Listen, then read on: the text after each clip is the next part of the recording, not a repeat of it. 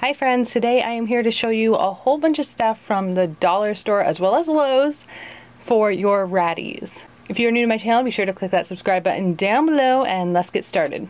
Now this is a Dollar Tree haul, but before I get started, I want to show you these from Lowe's. They are PVC piping. They're found in the plumbing section and they are four inches in diameter. They are perfect for the ratties. This one was about $6. This one was about eight with some change in there. They're gonna be tunnels that are durable, cleanable, washable, aren't gonna get soggy unlike uh, cardboard rolls. So these are gonna be perfect for your ratties for under like 12 bucks. Now let's get into what you really want to see. I have a whole bunch of fun stuff here. If you go to pet stores, you'll often see that they have a bunch of ferret toys, hamster toys, but they always cost a lot of money.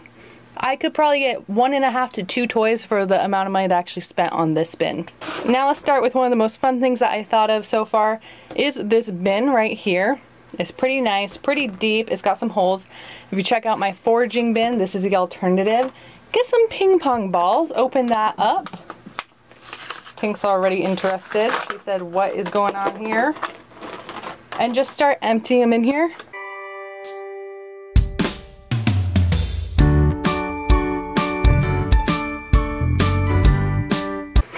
So right here we have 48 ping pong balls. It's definitely cheaper if you want to order in bulk, but I was pretty impatient. So for starters, I got, uh, I think eight packets of six in a pack for ping pong balls.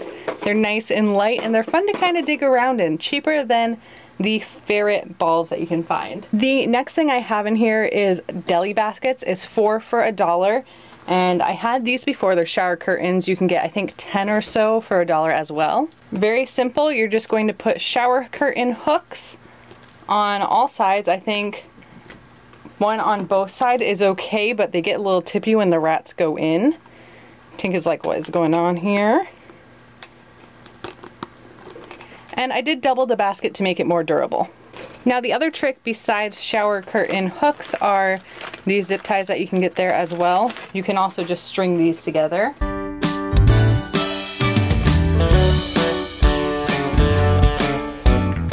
Now once you do whatever method you want to get it long enough, you can go ahead and hook it through. Here's another option, it's dog collars from the Dollar Tree. So I'm gonna hook the dog collar through. You can put it through like this and then hang it and this is going to make a little basket for the ratties hung up. And you can also connect them all together to make a chain as well, which is kind of nice. Not going to lie, these were for me. The only thing I bought for me. The next thing I've been using since they were babies, and that is the super soft microfiber cloths. They are wonderful blankets. They are great for packing into any kind of baskets that you got for them. These are wonderful. Absolutely use them. They're so soft, and for a dollar, they're really nice. The next thing I have in here is a little trash can. Now the problem with this is that they could get stuck in it. So what you can do is actually remove this part, which may require a little bit of taking this out right here. There we go. And now you got a nice little hut for them. Let's see if Alice will go in.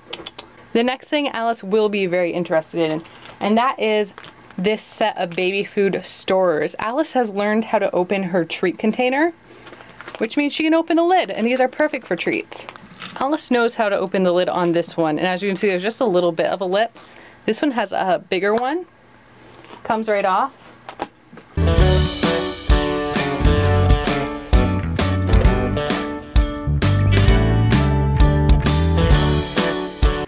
I didn't buy this time, but I've bought in the past are ropes. They are super cheap at the dollar store because other places they are expensive.